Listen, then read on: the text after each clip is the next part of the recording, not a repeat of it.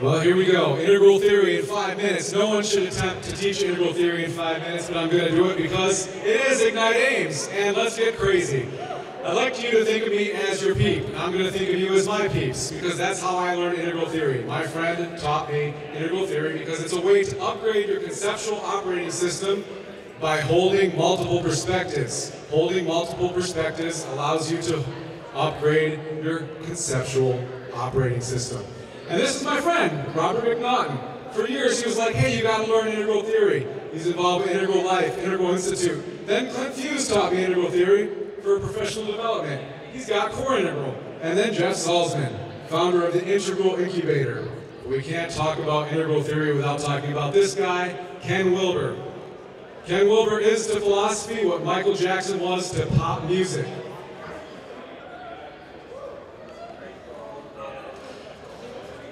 Ken is a cartographer, a cartographer of the human experience, a map maker for our minds. So you're going to learn three maps. Well, you're not going to learn them. I'm going to introduce you to three maps. The first map is spiral dynamics. The second map is four quadrants. And the third map is lines and levels. Spiral dynamics is essentially a social developmental model. This social developmental model allows you to upgrade your conceptual understanding so you can hold multiple perspectives. When you hold multiple perspectives, you can do more with more people.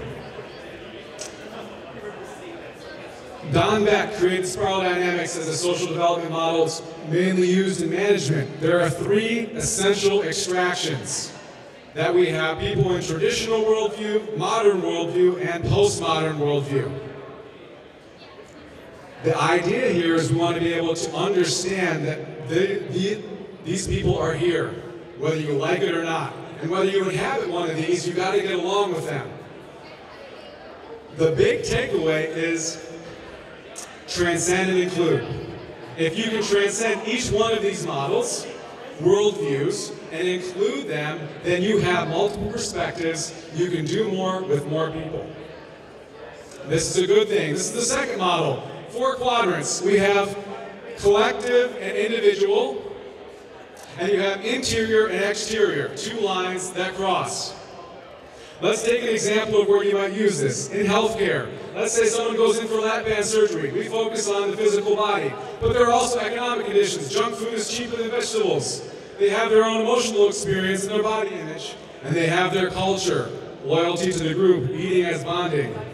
This is yet another way to avoid paradigm butting, the butting of heads of different paradigms. When you have multiple perspectives, you upgrade your conceptual understanding. The next model is lines and levels. Lines and levels is built on the theory of multiple intelligences, Howard Gardner's work. Very simple. There are lines of development, and there are levels on those lines. You can have physical development, interpersonal development, intrapersonal development, cognitive development. And you can have levels of development on each of those lines. This tool allows you to work with people in a more sophisticated way. In fact, this is extracted from Stagen. Stagen is an integral consulting firm working with mid-sized businesses who want to go from scrambling to scaling. They work with the C-suite. Leaders are using this and all of these models the ability to hold multiple perspectives will be the hallmark of the leader of the future. And in fact, leaders across the globe are using this model now. So there you go. Three of the maps. Spiral dynamics, four quadrant, lines and levels. Your ability to hold multiple perspectives